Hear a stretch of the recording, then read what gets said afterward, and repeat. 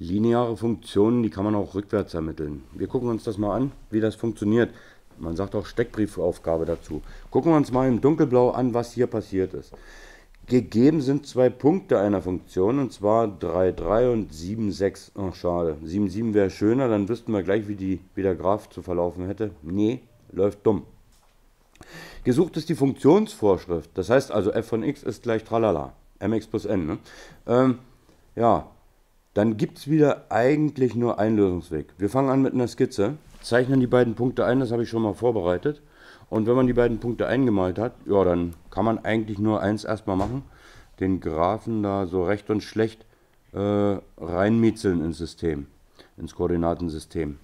Und hier sieht man schon, das wird nichts, das wird eine andere Nullstelle haben und unser n, das ist geschätzt rund 0,8. Ne, das läuft auf jeden Fall nicht durch die 1 und fertig. So, jetzt wenn man die Skizze hat. Jetzt kann man aber m abzählen. Das ist ein Riesenvorteil. Ich kann nämlich sagen, ich habe ja hier ein Steigungsdreieck. Und jetzt kann ich sagen, 1, 2, 3, 4 nach rechts, 4 nach rechts. Schreibe ich also m ist gleich, 4 nach rechts und 1, 2, 3 hoch. Mhm, 3 Viertel. Ob das stimmt, nochmal. 1, 2, 3, 4 nach rechts und 1, 2, 3 nach oben.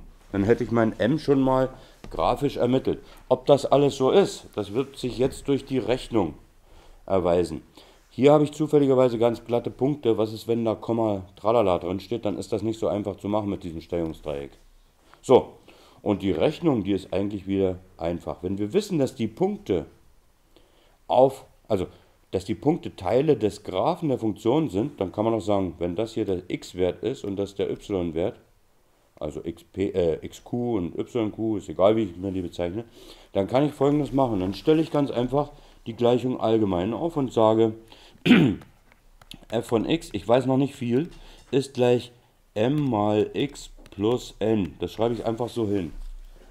Und fangen wir mit dem Punkt P an. Dann weiß ich, dass der Punkt P, der hat 3, 3 die Koordinaten.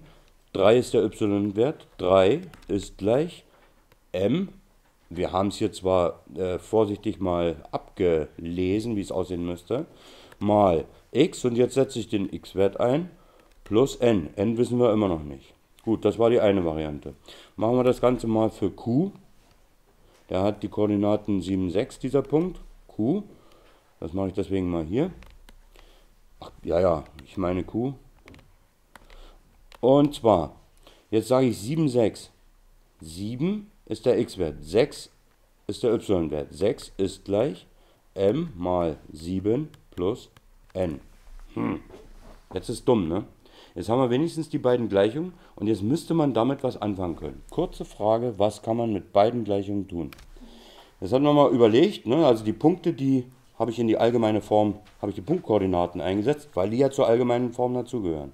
So, und jetzt haben wir überlegt, was machen wir mit diesen blöden beiden Gleichungen? Gleichsetzen geht nicht ganz.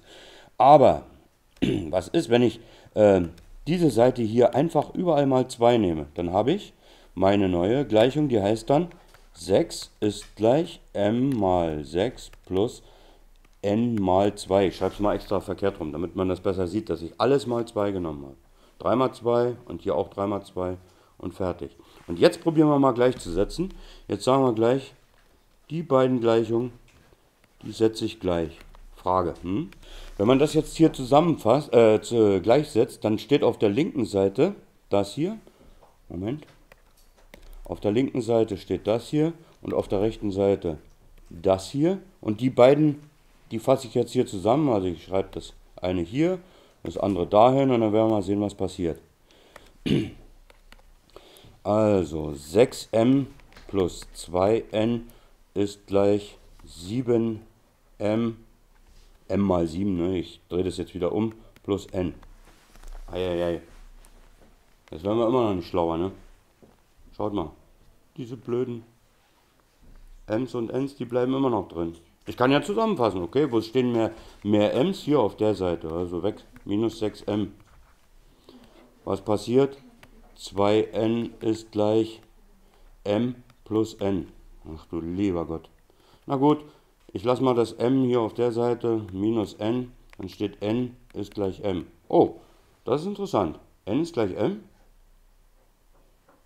Das ist schon mal eine Aussage. Aber es nützt uns noch nichts. Wir wollen ja die echten Werte haben. Also diese Aussage ist schon mal gut. Jetzt gibt es eine Frage. Jetzt sind wir also bis hierher bei, so weit gekommen. Wir haben geschätzt und 0,8, ja das könnte auch 0,75 sein. Ne? m ist 0,75. Wir haben jetzt lediglich durch dieses Gleichsetzen, ein bisschen rumtricksen rausgekriegt, dass wir ja, n gleich m haben. Das ist hier ein Zufall, das kann passieren, sowas gibt es. Aber wir haben noch nichts Vernünftiges hinbekommen, zu sagen, verflucht Juche, wie kann man das machen, dass man nicht bloß die Aussage hat, m ist gleich m, sondern die echten Werte für m und für n. Und das ist die Aufgabe, die gilt es schon mal im Kopf zu lösen. Das ist eine echte Hausaufgabe für die nächste Woche. Einfach mal immer wieder kurz das Video angucken, nochmal drüber nachdenken. Vielleicht gibt es ja eine Möglichkeit, wie man sich daran tricksen kann. Ich wünsche schöne Pause.